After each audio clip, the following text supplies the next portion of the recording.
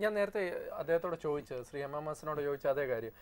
ഈ ഹൈപ്പർ ക്രിട്ടിക്കലാണ് എന്ന് പറയുമ്പോൾ ആര് ഭരിച്ചാലും ഒരു തൃപ്തിയില്ലാത്ത ഒരു അവസ്ഥയിലേക്കും ജനം എത്തിച്ചേർന്നിട്ടുണ്ട്. അതെ തീർച്ചയായിട്ടും. അതിന് രണ്ട് കാരണങ്ങളുണ്ട്. ഒന്ന് പ്രതീക്ഷ നൽകുന്നു എന്നുള്ളതാണ്. മറ്റൊന്ന് മറ്റ് സംസ്ഥാനങ്ങളെ അപേക്ഷിച്ച് ഇവന് എക്സ്പോഷർ കൂടുതലാണ്. അതുകൊണ്ട് തന്നെ ലോകത്ത് നടക്കുന്ന കാര്യങ്ങളെക്കുറിച്ച് നല്ല സാമാന്യ ബോധമുണ്ട്. അപ്പോൾ ഇവിടെ പുരോഗതി ഇത്ര ഇതിൽ പോരാ ഇതിൽ കൂടുതൽ വേണം ഇതിൽ കൂടുതൽ വേണം. തൊഴിലില്ലായ്മ ഒരു വശത്ത് നിൽക്കും. ഇവിടുത്തെ സമരവും ബാക്കി പ്രശ്നങ്ങളും എല്ലാം നിൽക്കും. പക്ഷേ അതോടൊപ്പം ഗവൺമെന്റിനെ കുറിച്ചുള്ള പ്രതീക്ഷകൾ ഒരു ഒട്ടേറെ കാര്യങ്ങൾ നിയമസമാധാനം മാത്രമല്ല വികസന പ്രശ്നങ്ങൾ മാത്രമല്ല അടിസ്ഥാന സൗകര്യങ്ങൾ മാത്രമല്ല എല്ലാം കൂടെ ചേർത്തുള്ള ഒരു ഫാക്ടറാണ്.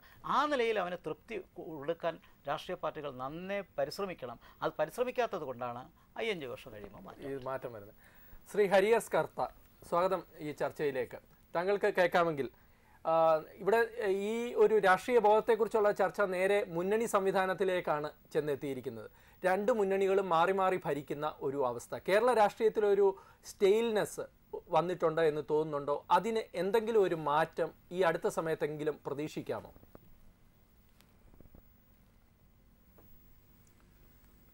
കേരളത്തിന്റെ രാഷ്ട്രീയ ബോധം അല്ലെങ്കിൽ രാഷ്ട്രീയ പ്രബുദ്ധത എന്നൊക്കെ പറയുന്നത് എല്ലാ കാലത്തും ഇന്ത്യയുടെ ഇതര സംസ്ഥാനങ്ങളിൽ നിന്നും വ്യത്യസ്തവും വ്യതിരിക്തവുമായിട്ടുള്ള ഒരു നിലപാടാണ് മുന്നോട്ട് വച്ചിട്ടുള്ളത്. ഉദാഹരണത്തിന് ഇവിടെ അമ്പത്തേഴിലെ കാലാവസ്ഥയെക്കുറിച്ച് പറഞ്ഞു. അമ്പത്തേഴിൽ ഇന്ത്യയിൽ ആദ്യമായിട്ടൊരു കമ്മ്യൂണിസ്റ്റ് പാർട്ടിയെ അധികാരത്തിൽ ബാലറ്റിലൂടെ അധികാരത്തിലെത്തിയ കേരള ജനതയാണ്. അതേ ജനങ്ങൾ തന്നെ അത് തെറ്റാണോ ശരിയാണോ എന്നുള്ള മറ്റൊരു പ്രശ്നം. അതേ കമ്മ്യൂണിസ്റ്റ് മന്ത്രിസഭയെ ഒരു ജനകീയ മുന്നേറ്റത്തിലൂടെ പുറത്താക്കുന്നതിനുള്ള ഒരു രാഷ്ട്രീയ സാഹചര്യം സൃഷ്ടിച്ചതും കേരളത്തിലെ ജനങ്ങളാണ്. സാധാരണ നാം പറയാറുണ്ട് ഇന്ത്യയിലെ രാഷ്ട്രീയ പരീക്ഷണശാലയാണ് കേരളം എന്നൊക്കെ. മുന്നണി രാഷ്ട്രീയം ഐക്യകക്ഷി രാഷ്ട്രീയം ഇതൊക്കെ ആദ്യം പരീക്ഷിച്ച് വിജയിപ്പിച്ചത് കേരളത്തിലാണ്. പക്ഷെ പലപ്പോഴും ഈ നേരത്തെ പറഞ്ഞ പോലെ കേരളത്തിലെ ജനങ്ങൾ വോട്ടർമാർ ഹൈപ്പർ സെൻസിറ്റീവ് ആണ് എന്ന അഭിപ്രായത്തോട് എനിക്ക് യോജിക്കാൻ നിവൃത്തിയില്ല. കാരണം അടിയന്തരാവസ്ഥയ്ക്ക് ശേഷമുള്ള തെരഞ്ഞെടുപ്പ് നാം ഓർക്കണം. ഇന്ത്യയിലെ എല്ലാ സംസ്ഥാനങ്ങളും ഒരുപക്ഷെ ദക്ഷിണേന്ത്യയിലെ ചില സംസ്ഥാനങ്ങൾ ഒഴിച്ച് എല്ലാ സംസ്ഥാനങ്ങളും ഇന്ദിരാഗാന്ധിയുടെ ഭരണത്തിനെതിരെ വിധി എഴുതിയ അവസരത്തിൽ അടിയന്തരാവസ്ഥയ്ക്കെതിരെ വിധി എഴുതിയ അവസരത്തിൽ കേരളത്തിലെ ജനങ്ങൾ വമ്പിച്ച ഭൂരിപക്ഷത്തോടുകൂടിയാണ് അന്നത്തെ കോൺഗ്രസ് നേതൃത്വത്തിലുള്ള സി പി ഐ കൂട്ട് നേതൃത്വത്തിലുള്ള മന്ത്രിസഭയെ വീണ്ടും അധികാരത്തിലേക്ക് തിരിച്ചു കൊണ്ടുവന്നത് ഇത് കേരളത്തിലെ ജനങ്ങൾ ഒരു ഹൈപ്പർ സെൻസിറ്റീവിയുടെ പ്രശ്നമാണ് എന്ന് എനിക്ക് തോന്നുന്നില്ല അതിനോട് യോജിക്കാൻ നിവൃത്തിയില്ല. പിന്നെ ഞാൻ നേരത്തെ ചോദിച്ച ഒരു കാര്യം ഈ രണ്ട് മുന്നണികളെ മാറി മാറി പരീക്ഷിക്കുന്ന ഒരു സ്വഭാവം. ഇപ്പോൾ ഏതാണ്ട് ഏത് തെരഞ്ഞെടുപ്പ് വന്നാലും ഫലത്തെക്കുറിച്ചൊരു നേരത്തെ ഒരു സൂചനയുണ്ട്. ഒരു സസ്പെൻസ് പോലും ഇല്ലാത്ത ഒരവസ്ഥ മാറ്റമില്ലാത്ത ഒരവസ്ഥ. അത് കേരള രാഷ്ട്രീയത്തിൽ വന്നിട്ടുണ്ട്. ഒരു സ്റ്റെയിൽമേറ്റ് വന്ന് ഒരു സ്റ്റെയിൽനെസ് വന്നിട്ടുണ്ട് എന്ന് പറഞ്ഞു കഴിഞ്ഞാൽ യോജിക്കുമോ അതിനോട്? സ്റ്റെയിൽനെസ് ഉണ്ടായിട്ടുണ്ടെങ്കിൽ അതിന് അടിസ്ഥാനപരമായ കാരണം ഇവിടെ ഒരു തേർഡ് ഓൾട്ടർനേറ്റീവ് ഇല്ല എന്നുള്ളതാണ്. ടിന എന്ന് പറയുമല്ലോ ദർ ഇസ് നോ ഓൾട്ടർനേറ്റീവ് എന്ന് പറയുന്ന ഒരു അവസ്ഥ ഇന്ന് കേരളത്തിലുണ്ട്. രണ്ട് മുന്നണികളെ സംബന്ധിച്ചോളം നേരത്തെ ശ്രീ വാസുരേന്ദ്ര ബാബു സൂചിപ്പിച്ചതുപോലെ മാറി മാറി ഭരിക്കാനുള്ള ഒരു അവസരം അവർക്ക് ലഭിക്കും എന്നുള്ള ഉറപ്പ്.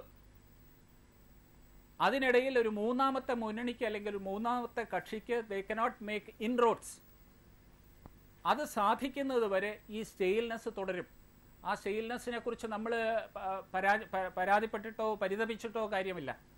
ഓക്കെ. ഹൈപ്പർ സെൻസിറ്റീവ് ആണെന്നുള്ള അഭിപ്രായത്തോടെ എതിര് പറയുന്നു എന്നാ എന്നാണ്. Hyper critical hyper sensitive hyper critical ക്രിട്ടിക്കലാണ് എഴുപത്തേഴിൽ അതിന്റെ ഒരു പ്രത്യേകതയും കൂടെ നമ്മുടെ മുമ്പിലുണ്ട്. ഞാൻ ഈ ഹൈപ്പർ ക്രിട്ടിക്കൽ എന്ന് പറയുന്ന തിരഞ്ഞെടുപ്പ് വിധിയെ മാത്രമല്ല ശരാശരി മലയാളിയുടെ സ്വഭാവമാണ് പറഞ്ഞത്. അതുകൊണ്ട് വിമർശനാത്മകമാണ്. അതുകൊണ്ടാണ് നമ്മൾ ആരെയും ഇവിടെ എന്തുകൊണ്ട് ഇവിടെ ആ താര ആരാധന ഇല്ല? രാഷ്ട്രീയത്തിൽ മാത്രമല്ല സമൂഹത്തിൽ നോക്കി മറ്റ് സംസ്ഥാനങ്ങൾ വെച്ച് നോക്കുമ്പോൾ എത്ര സമൂ എത്ര താര ആരാധനയുണ്ട് അപ്പോൾ അടിസ്ഥാനപരമായിട്ട് നമുക്ക് ആൾക്കാരെ അംഗീകരിക്കാൻ ഒരു വിഷമമുണ്ട്. അങ്ങനെ ഒരു പരിധിക്കപ്പുറം നമ്മൾ ആരെയും പുകഴ്ത്തുകയുമില്ല. എപ്പോഴും ഒരു നിയന്ത്രണം വെച്ചുകൊണ്ട്. അതാണ് ഹൈപ്പർ ക്രിട്ടിക്കലിന്റെ അർത്ഥം. ഹൈപ്പർ സെൻസിറ്റീവ് ഹൈപ്പർ ക്രിട്ടിക്കൽ തീർച്ചയായിട്ടും. അത് ഈ പുരോഗമന ആശയങ്ങൾക്ക് ഒരു വലിയ പ്രാമുഖ്യം കേരളത്തിലുണ്ട് എന്ന് പറഞ്ഞു. പക്ഷേ ശ്രീ എം എം എസിന്റെ ഒക്കെ പ്രസ്ഥാനം അവിടെ തന്നെയാണ് പിടിച്ചു നിൽക്കുന്നത്. ബംഗാളിലെ ഒരു സ്ഥിതിയല്ല. പക്ഷേ ഈ പുരോഗമന ആശയങ്ങൾക്ക് കേരളത്തിലെ രാഷ്ട്രീയ ബോധത്തിലുണ്ട് എന്ന് പറയുന്ന ഒരു മുൻകൈ അത് ക്രമേണ കുറഞ്ഞു വരികയാണോ. അതിന്റെ ഒരു പ്രാമുഖ്യം കുറഞ്ഞു വരികയാണ് എന്ന് പറഞ്ഞു കഴിഞ്ഞാൽ അതിനോട് യോജിക്കുമോ അല്ല ഇത്തരത്തിലുള്ള എല്ലാ വിമർശനങ്ങളും ഏകപക്ഷീയമായി ഒരു ശരിമ തെളിയിക്കുന്നുണ്ട്. എല്ലാ കാര്യത്തിലും ഒരു ശരി നമുക്ക് കാണാൻ കഴിയുന്നുണ്ട്. പക്ഷേ അതുകൊണ്ട് ഒരുപക്ഷെ കേരള സമൂഹത്തിന്റെ അടിസ്ഥാനപരമായ ഒരു ഒരു വിശകലനം അന്തരാള ഘട്ടത്തിലോ ധർമ്മസങ്കടത്തിലോ ഒക്കെയാണ് ഞാൻ. എങ്ങനെയാണ് ജനതയെ മനസ്സിലാക്കുക ഇപ്പോൾ ഈ കർത്ത അദ്ദേഹം പറഞ്ഞ ഒരു ശരിയായ കാര്യം ആയിരത്തി തൊള്ളായിരത്തി എഴുപത്തി ഏഴിലെ തെരഞ്ഞെടുപ്പാണ്.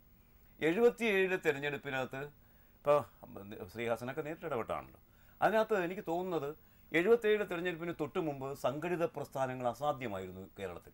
സംഘടിത പ്രസ്ഥാനങ്ങൾ അസാധ്യമായിരിക്കുന്ന ഒരു സാഹചര്യം വന്നാൽ കേരളത്തിലെ പോലെ എംപവേർഡ് ആയിരിക്കുന്ന വോട്ടർ എന്ന് ശ്രീ പിന്നെ അദ്ദേഹം ഗോവൻ പറയുണ്ടായല്ലോ അങ്ങനൊരു വോട്ടർ എന്തുകൊണ്ട് ക്രിട്ടിക്കലാവുന്നില്ല നമുക്ക് മനസ്സിലാകാത്തൊരു കാര്യമാണ്. നേരത്തെ പറഞ്ഞ പ്രസ്ഥാനങ്ങളുടെ അതേ ഇതേ അവസ്ഥ ഇന്ത്യയിൽ മറ്റ് സംസ്ഥാനങ്ങളിലും അങ്ങനെ തന്നെയാണ് ഞാൻ ഇടപെട്ടുണ്ട് രണ്ട് കാര്യങ്ങൾ. ഒന്ന് എഴുപത്തേഴിൽ നടക്കുന്ന നടന്ന ഉത്തരേന്ത്യയിലും മറ്റ് മേഖലയിലും നടന്ന മാനുഷികാവകാശ പ്രശ്നങ്ങളും ഒന്നും അന്നത്തെ സെൻസറി ഇന്നത്തെ കാലമല്ല. മൾട്ടിപ്പിൾ ചാനൽ ഒരു ചാനൽ പോലും ഇല്ല കേരളത്തിൽ ഇല്ല ഡൽഹിയിലാണ് ചാനൽ ഇവിടെയും ചാനൽ പത്രങ്ങളെല്ലാം സെൻസർ ചെയ്തിരിക്കുകയാണ്. പൊളിറ്റിക്കൽ ഇൻഫർമേഷൻ ഇല്ലാതെ എങ്ങനെയാണ് വിമർശനം വരുന്നത്? ഒന്ന്. രണ്ട് അന്നത്തെ ഭരണത്തിന്റെ പ്രത്യേകത. ആ ഭരണത്തിലുണ്ടായിട്ടുള്ള പ്രതിഷേധ വോട്ടായിരുന്നു. അത് അടി അടിയന്തരാവസ്ഥയ്ക്ക് അനുകൂലമായിരുന്നില്ല. എഴുപത് എഴുപത്തേഴ് കാലഘട്ടത്തിൽ നടന്ന പ്രതിപക്ഷത്തിന്റെ പ്രവർത്തനത്തിലുള്ള പരാജയത്തിന്റെ ഒരു മാൻഡേറ്റ് ആയിരുന്നു അത് വന്നത്. അത് നോക്കണം. അത് മറ്റ് സംസ്ഥാനങ്ങളിൽ വന്നത് ഒരു തരംഗമായി സൃഷ്ടിച്ചു. ഇവിടെ ആകട്ടെ ഒരു ഭരണത്തെ വിലയിരുത്തിക്കൊണ്ട് അന്ന് പ്രത്യേകിച്ച് ഒരുപാട് പേർക്ക് അക്രമ രാഷ്ട്രീയം തീവയ്പ് അന്നത്തെ പ്രതിപക്ഷത്തിന്റെ ആ ഒരു അപ്രോച്ചിൽ ഇന്നത്തെ ഒരു പ്രതിപക്ഷവും ചെയ്യത്തില്ല. അത് തന്നെ ജനങ്ങൾക്ക് ഒരുപാട് വിമർശനത്തിന് കാരണമാക്കി. മാത്രമല്ല സ്കൂളുകളും കോളേജുകളുടെയും കലാലയ അന്തരീക്ഷങ്ങൾ താങ്കൾക്ക് ഇത് പറയുമ്പോൾ വിഷമം ഉണ്ടാവുമെന്ന് എനിക്കറിയാം. കാരണം അടിയന്തരാവസ്ഥയിൽ ഒരു വ്യക്തിമാണ് അതുകൊണ്ട് തീർച്ചയായിട്ടും വിഷമമുണ്ടാവും. പക്ഷേ അന്ന് അന്നത്തെ കലാലയ അന്തരീക്ഷം ഞങ്ങൾക്ക് നല്ലപോലെ ഓർമ്മയുണ്ട്. ഇത് അടിയന്തരാവസ്ഥ തുടങ്ങി ഒരാഴ്ച കഴിഞ്ഞാണ് ഞാനും പൊളിറ്റിക്കൽ സയൻസ് അധ്യാപകനായി പഠിപ്പിക്കാൻ തുടങ്ങുന്നത്. എഴുപത്തി അഞ്ചിലെ കാര്യമാണ്. ഞങ്ങൾക്കും ക്ലാസ് മുറികളിൽ ഭയമുണ്ടായിരുന്നു. അത് സംശയമില്ല. ആ കാര്യങ്ങളൊക്കെ പക്ഷേ പൊതുവിൽ പുറത്തു വന്ന ആ ഒരു അന്തരീക്ഷം ആ മൊണാസ്റ്റിക് സൈലൻസ് അത് ഉതിർത്ത ഒരു സാമൂഹ്യ അന്തരീക്ഷം മറ്റ് അച്യുതമേനോന്റെ ഭരണം ഇതെല്ലാം കൂടെ ചേർത്തുള്ള പോസിറ്റീവ് എലിമെൻസ് ആണ്. ഒരുപക്ഷെ മീഡിയയ്ക്ക് ഒന്ന് ഫ്രീഡം ഉണ്ടായിരുന്നെങ്കിൽ അടിയന്തരാവസ്ഥയിൽ പ്രതീക്ഷിക്കണം ഞാൻ തിരിച്ചു വരാം. ഒരു പ്രേക്ഷകൻ ലൈനിലുണ്ട്. ശ്രീ ജോർജ് കുട്ടി സ്വാഗതം പരിപാടിയിലേക്ക്. താങ്കൾക്ക് പറയാനുള്ളത്. ആ നമസ്കാരം. എനിക്ക് അസൻ സാറിന്റെ അടുത്താണ് ചോദിക്കാനുള്ളത്. ഈ അസൻ സാറ് എന്ത് മാനദണ്ഡത്തിലാണ് ഈ ഇപ്പോൾ നടക്കാൻ പോകുന്ന ഈ ഇലക്ഷനെ നിങ്ങൾ നേരിടുന്നത്? ഈ സർക്കാര് ഇടതുപക്ഷ സർക്കാര് ഈ ചെയ്തിട്ടുള്ള നല്ല കാര്യങ്ങളെ എല്ലാം നിങ്ങൾ വിസ്മരിച്ചുകൊണ്ട് നിങ്ങൾ കുറെ അഴിമതിയും മറ്റു കാര്യങ്ങളും നിങ്ങളുടെ ഭാഗത്ത് വന്നതുകൊണ്ടാണല്ലോ ഈ സർക്കാരിനെതിരായിട്ട് ഉള്ള ഒരു ഇതിലേക്ക് നിങ്ങൾ നീങ്ങിക്കൊണ്ടിരിക്കുന്നത്. എന്നാണ് അദ്ദേഹത്തിന് പറയാനുള്ളത്. ഈ തീർച്ചയായിട്ടും പരാജയ ഭീതി മുന്നിൽ കണ്ടുകൊണ്ടാണല്ലോ നിങ്ങൾ ഈ ഈ പല പല കാര്യങ്ങളിലേക്കും അനാവശ്യമായ കാര്യങ്ങളിലേക്ക് രാഷ്ട്രീയപരമായും ഓരോ വ്യക്തികളെയും ആയിട്ടും ഇതിലേക്ക് വലിച്ചയക്കുന്നത് ശരി ശരി ശരി. അദ്ദേഹത്തിന്റെ അദ്ദേഹത്തിന്റെ പ്രതികരണം എടുക്കാം. വിളിച്ചതിന്